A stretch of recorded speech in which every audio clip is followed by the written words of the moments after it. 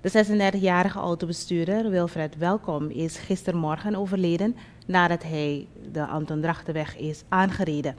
Uit het voorlopig onderzoek is naar voren gekomen dat de 19-jarige Aksayant de veroorzaker van de dodelijke aanrijding is. Inspecteur Humphrey Naarden, hoofd van de publiciteitsafdeling van het KPS, is er niet over te spreken dat juist in de verkeersveiligheidsmaan er zulke verkeersongevallen zich voordoen.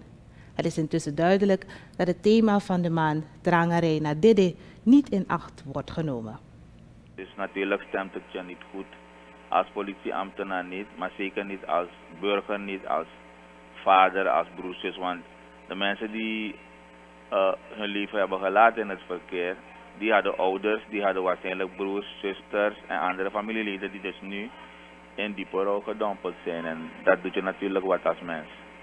Ten aanzien van het geval van de Kennedyweg, um, wat ik tot op dit moment kan delen met uh, u is dat er twaalf uh, gewonden zijn die zijn overgebracht naar het ziekenhuis. Uh, van wie één een heel een, een jong kindje is. U kunt begrijpen, vandaag maandag er zijn zoveel dingen gebeurd.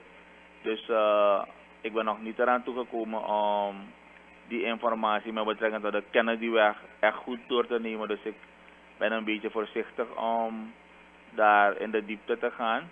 Maar feit is wel dat we uh, te maken hebben ho hoogstwaarschijnlijk ook met roekeloos rijgedrag. Waarbij dan twaalf mensen gewond zijn geraakt en naar het ziekenhuis zijn overgebracht. Ik heb begrepen dat uh, de chauffeurs, uh, voor wat de gevallen van Kennedy, Kennedyweg betreft, dat beide zijn opgenomen omdat ze beide ernstig gewond zijn geraakt. Inspecteur Narden. Terugkomend op de aanrijding van de Anton Drachtenweg zegt hij dat de veroorzaker, Aksayant, gewond is geraakt. Hij was met drie andere jonge mannen in de auto. Die waren ook opgenomen, maar verwachtbaar is dat zij morgen ontslagen worden. Aksayant is echter onder politiebewaking geplaatst. Hij is in verzekering gesteld omdat hij vermoedelijk onder invloed van alcohol achter het stuur heeft plaatsgenomen. Naden zegt hierover dat hij op het moment van de aanrijding echter slachtoffer was, dus is er op de eerste plaats slachtofferhulp toegepast.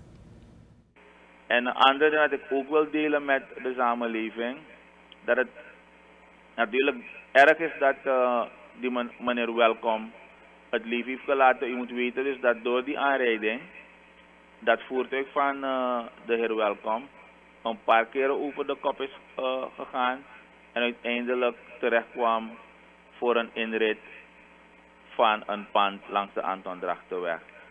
Uh, verder is ook nog gebleken dat Axayan en zijn gezelschap, dat zij kort voor dus die aanrijding kwamen vanuit een nachtclub. En dat de jongste in het gezelschap 16 jaar oud is. En dat Axayan, zoals eerder aangegeven, uh, niet de leeftijd van 19 jaar heeft, maar de leeftijd van 18 jaar.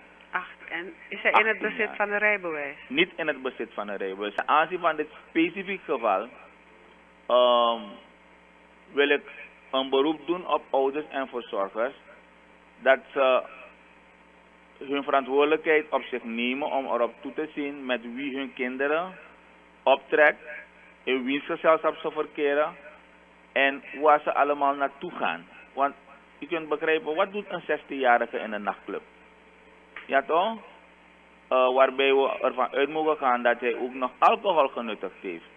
Um, en natuurlijk wil ik ook een beroep doen op de eigenaren, dat wel beheerders van dat soort van clubs, dat ze de verplichting hebben om erop toe te zien dat er geen jeugdigen uh, hun clubs betreden. Dat is een verantwoordelijkheid die ze hebben en, uh, en dat weten ze ook hoor, dat ze in feite spelen met hun vergunning.